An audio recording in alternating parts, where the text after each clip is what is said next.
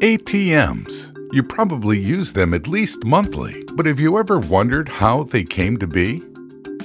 Who invented ATMs, and how did they grow to play such a pivotal role in modern society?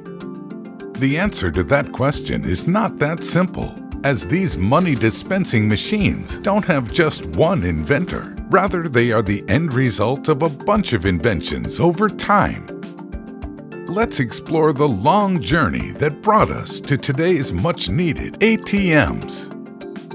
ATMs have been around since 1960 when American inventor Luther Simjian patented the first automated banking machine as the Bankograph. This device was impressive for its time as it could automatically accept cash or checks at any time of the day in 1960, Simjian was able to convince the then New York City Bank to take a few of his machines on a trial to see how they worked. They essentially functioned as follows. A user would submit their check or money, and a microfilm camera inside of the machine would take a snapshot of the deposit. Customers would then receive a copy of this photo as their receipt Bankers would then come in and make the physical deposit during banking hours. Comically, while these machines may seem like an impressive convenience for 1960, apparently the only people who wanted to use them were prostitutes and gamblers who wanted an inconspicuous way to make deposits. While the Bankograph was the first iteration of a machine resembling an ATM, it didn't quite make the cut in its day, likely because people did not trust a machine with their money. It took until the end of the 1960s for people in the US to become willing to use self-service banking. Meanwhile, in 1966, the first cash dispensing machine was installed in Japan but it was tied to a credit account, not a bank account. The modern version of an ATM had not yet come to be. It was in 1965 that an inventor from Scotland named John Shepherd Barron had an ingenious idea while taking a bath. Vending machines for candy existed, so why not for cash? These first ATMs, or automated money dispensing machines, used paper vouchers with radioactive ink to withdraw cash in place of credit or debit cards. The most a user could withdraw at a time was 10 pounds. The machines proved attractive to London banks, who were struggling with union demands to end Saturday banking hours.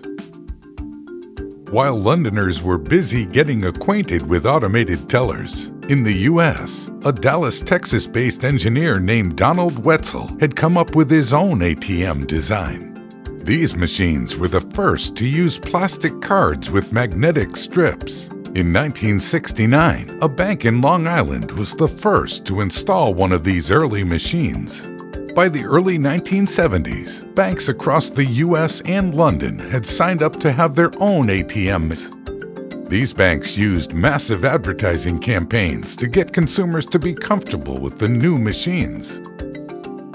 However, it wasn't until 1977 when ATMs were fully integrated into modern society. Citibank invested 100 million US dollars to install ATMs all across New York City the following year, when a massive snowstorm shut down the city, ATM usage increased by 20% as all of the banks were closed. Citibank's successful investment proved that ATMs were here to stay. As of 2019, there were more than 3 million ATMs across the globe, although their use is on the decline as more people use credit and debit cards for many transactions. Still, no one can deny how indispensable ATMs are in modern society. Although the use of ATMs purely for dispensing cash has decreased, there has been a rise in ATM-like machines for other purposes, such as airline ticketing and even dispensing cryptocurrencies and medicine. Now that we have looked at ATM's fascinating history, here are seven more interesting facts about these machines. The first ATMs used radioactive paper containing carbon-14 in place of cards. This is the same isotope of carbon that is used in carbon dating. After the first ATM was installed at a Barclays branch in London, the second was installed in Sweden. The first ATM heist was reportedly in 1968 when a Swedish thief discovered how to calculate PIN numbers for ATM cards. He reportedly traveled around the country emptying the machines. In 1971, there were only 11 U.S. banks that had ATMs. Just 23 years later, there were more than 100,000 ATMs nationwide. Prior to 1996, ATMs in the U.S. were prohibited from charging for the transaction. After the law was changed that year, banks slowly started to implement ATM charges. At first, ATMs weren't connected to wireless networks. By 1999, nearly all of the world's ATMs were connected to shared networks.